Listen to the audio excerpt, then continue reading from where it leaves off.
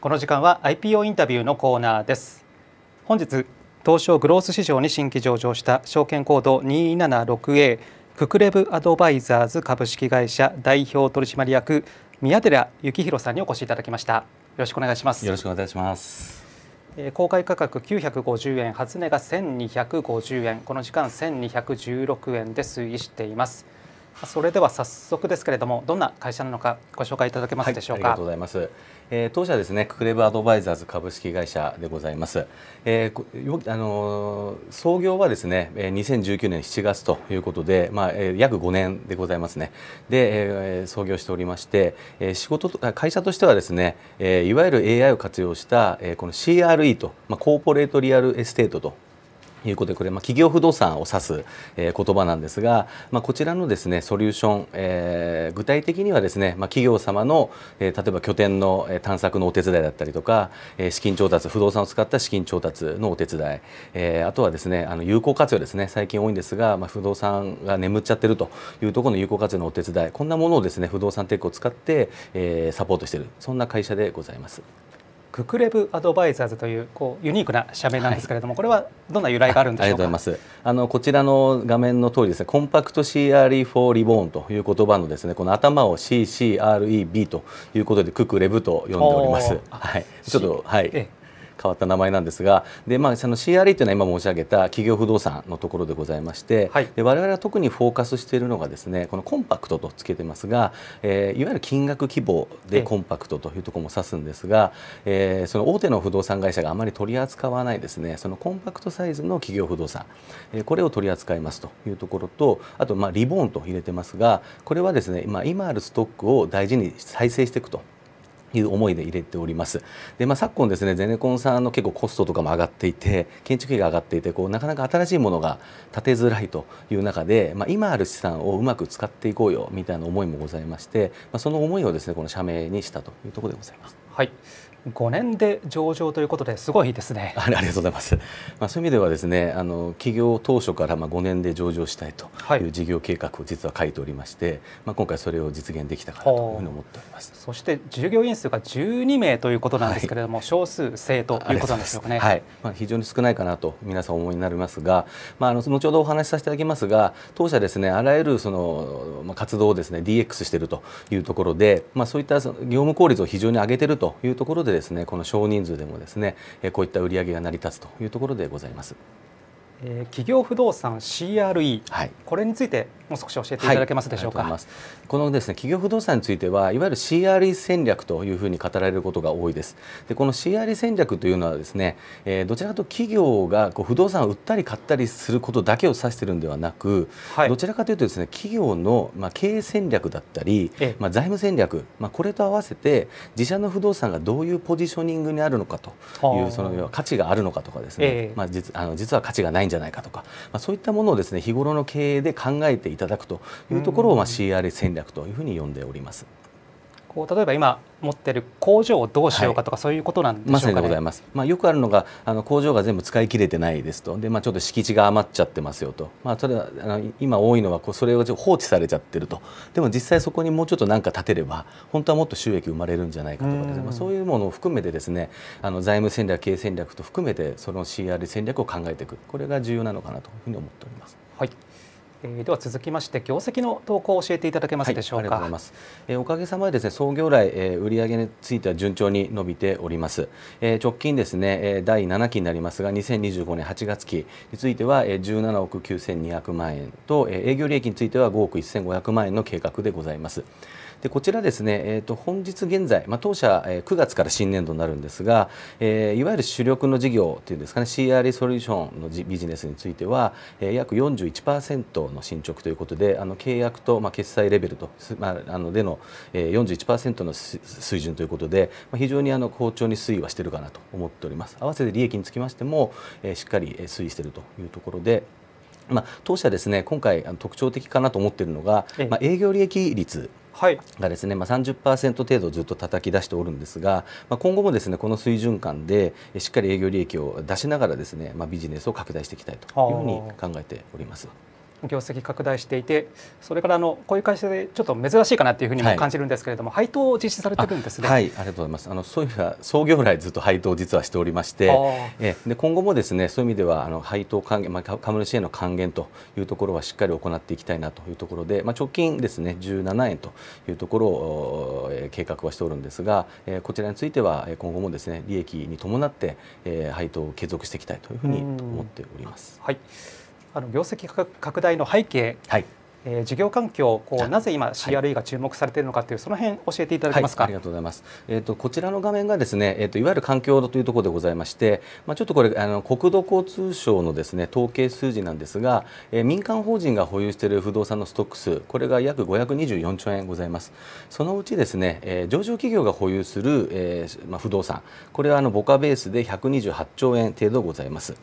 でですね、まあ、最近はですねあの昨年ですねあの東証東京証券取引所の方から資本コストのまあ改善というか、えー、要請があったかなと思うんですが、えー、まあ、これに伴ってですね企業もですね、まあ、持っている不動産を改めてその効率性がいいのか悪いのかとい。うのを考え直すというタイミングが今出ております。まあ、それもございまして先ほど申し上げたその CRE 戦略自体をやっぱやった方がいいよねと考える企業さんもまあ非常に多くなっているというところでございますので、まあ、環境としては非常にあの我々にとってはポジティブかなと考えております。東証の改革が追い風になっているということ、ね、そうですね。あの確実にですね、そういった相談が増えているというふうには感じております。えそれでは、えここから御社の強みについてご紹介いただけますでしょうか、はい、ありがとうございます、え、これこちらの画面がですね当社のポジショニングでございます、え、いわゆるいろんな不動産の種類がございます、まあ、レジだったりオフィスだったり商業施設だったりというところなんですが、まあ、いわゆるその大手の不動産会社さんとか中堅中小の不動産会社さん、まあ、こちらはですね、まあ、主にレジとかオフィスとか商業。で大手の不動産会社はまあ物流施設なんかも取り扱ってますが、まあ、我々はですねどちらかというとこの工場研究開発物流施設といわゆるよくインダストリアル不動産と呼ばれるんですがここが我々の得意な分野でございます。はい、でかつですね金額のバーでまあ20億円以下ぐらいのところを当社得意としておりますのでそういう意味ではですねその他のプレイヤーとああまりかにばらない形でですねあのポジショニングができているのかなというふうに考えております。はいえー、まずはポジショニングということなんですけども、はい、続いてこちらいかがでしょうか？はい、ありがとうございます。で合わせてですね当社、えー、まあ先ほど営業利益率のお話しましたが、えー、まあ収益性を高く、えー、維持していくということを強みとしております。でこちらはですねえっ、ー、と上場している不動産会社様の、えー、いわゆる営業利益率とえっ、ー、とネット D レシオのプロットでございます。で当社こちらの、まあ、図の通り左のところにポジショニングされておりますが、まあ、営業利益率についてはですね、え比較的、え業界水準では高いかなと思っておりますので今後もですねこのポジションを維持しながら、まあ、業務を展開していきたいというふうに考えております。はいえー、ビジネスモデルについて教えていただけますか、はい、ありがとうございます。でこちらですね、まあ、いわゆる企業不動産ということで、まあ、大体そのどんな会社も企業として経営課題をいろいろ抱えていらっしゃいます。で、まあ、その経営課題をですね、まあ、一つ一つ確認するのは非常に手間であるというところでございまして、まあ、我々これをですね不動産テックを活用して、えー、その企業の経営課題を可視化しながらですねその可視化した課題をですねこの CRA ソリューションビジネスとしてですね、まあ、いわゆる CRA アドバイザリーってことでのコンサルティングだったり、えー、あとはプロジェクトマネジメント。これはあの先ほどの有効活用の支援みたいなものですがこんなことをやったりですね。あとはまあ我々のバランスシートを使ったり SPC でファンドを蘇生したりということで、まあ、あらゆるいろんなカードを持ってですね企業様にご提案できるというのが当社のビジネスモデルでございましてで合わせてですねこの不動産テックの方を、えーまあ、サブスクで販売しているというところでございますので、はい、まあ、両輪を持った会社というところが特徴かなと思っております。はいテクノロジーが強みということなんですね。はい、そうですね。でそういう意味ではですね、このククレブ AI と、え、ククレブクレマというこの収穫を担う不動産テック、これが我々のあのメインのビジネスでございまして、先ほど申し上げた通り企業のですね経営課題等をですねこういったテックで可視化して、えー、不動産のニーズをマッチさせるということによって、まあ従従前だとその手作業だったりものすごい人力を使ったところをですね、まあ一気に効率化しているというところが強みでございます。え具体的にどんなことができているんでしょうか？はい、ありがとうございます。で実際にですね、まあこういった提案をしていくとなりますと、えー、通常はまあターゲットをもう絞ってですね、そこにまあ提案をしていくということなんですが、まあ我々の場合もですね、同様の流れではあるんですが、えー、この業務のですねプロセスが非常に短いというところが特徴でございます。特に今申し上げた不動産テックを活用しておりますので、その分析だったりマッチングというところが非常に早いということで、まあ通常ですね、な数ヶ月単位でかかる提案がまあ当社の場合はあの実は1日で終わっちゃったりとか。1日？で、まあ、あのそういうケースもございまして、まあ、そういう意味ではですね、あの圧倒的にあの時間が短いというのが当社の強みになっております。はいこちら事例をご用意いただいています、はい、でそんな中でですね、まあ、いろんな企業様のお役立ちをしておるんですが、まあ、例えば陸運業さんとかで直近ですね、まあ、長年有給地であった土地がございまして、はい、まあ、ここに当社のテックシステムでマッチングを仕掛けまして、えー、要はこの土地を使いたいという方がいますよというご提案をさせていただきまして、えー、結果ですね企業様の方で有効活用しようということで、まあ、我々これのですね、まあ、いわゆるコンサルティングというかあの着工から竣工までのいろんなご提案をさせていただいて、で企業としてはまあ眠ってた土地が収益化したということでですね、まあ、我々にとってもウィンですし企業様にとってもウィンであるというところでですね、まあ、こんな事例をまあいくつか持っているというところでございます。わかりました、はいそれでは今後の成長戦略を教えていただけますでしょうか？はい、ありがとうございます。まあ今申し上げた通りですね、あの提案のいろんな作業をですね、まあデジタル化していくというところが当社の戦略でございます。ですのでまあ今後ですね社員がまあ増えていくという中でですね、こういったその社員が触れるインフラをまあ逆に整備しているというところで、まあ当社の場合はそこが強みかなと思ってますので、まあここをですね強くしていくというところがもあの我々の戦略かなと思っております。そしてもう一つがこちら。はいそうですね。であとはマッチングシステム。こちらがまあ当社のコアになります。でこちらはですね今後もですね、えー、とユーザー数と登録数をどんどん大きくしていくということで、まあ、今回上場させていただいたということで、まあ、その信用力も使ってですね営業を拡大しながらですねいわゆるいけすを拡大していくというふうな戦略でございます。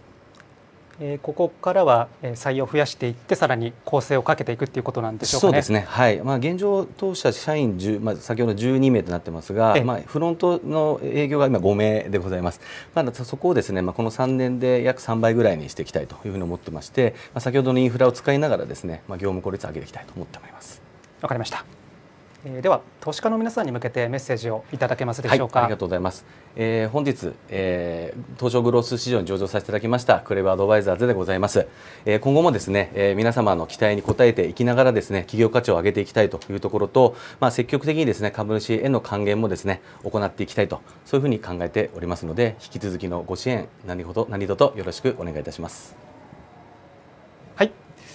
えー、この時間は本日グロース市場に新規上場した証券コード 276A ククレブアドバイザーズの宮寺幸宏さんにお伺いしました、